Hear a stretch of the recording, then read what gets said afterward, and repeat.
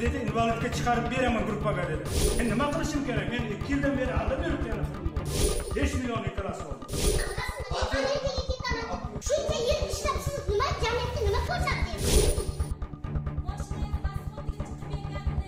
sizlar o'zlaring aytyapsizlar jamiyatni sha'niga dog' tegizadi degan gapni qilyapsizlar lekin nima uchun jamiyatlaringda birovni sha'niga dog' tegizadigan insonlar ishlaydi eng qizig'i shuki mana shu raislar ikkita rais meni nomimga meni shaxsiyatimga tegdi va mani shaxsiyatimga putur yetkazdi degan gaplarni qilib e, meni meni ustimdan e, ichki ishlarga yozib bergan.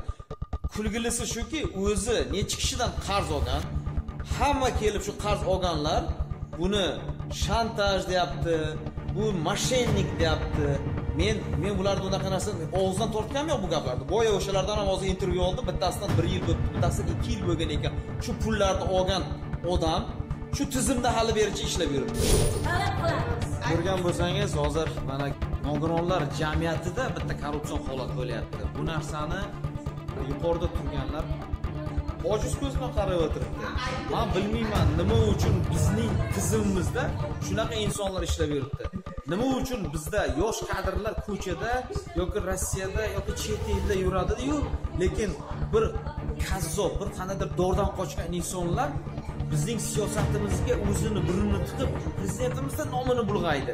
Mana hozir mana shu insonlar nogironlar nogironlar jamiyatida shunday narsalar bo'lyapti. Ishonasizmi? Ishonadigan bormi o'sha yerda? Nogironlarning ichida mana shu nogironlarga beradigan kolyaskasi nogironlarga beradigan hassasi. Man bu narsani hammasini sizga taqdim etaman. Eshitasizlar bu narsani ko'rasizlar.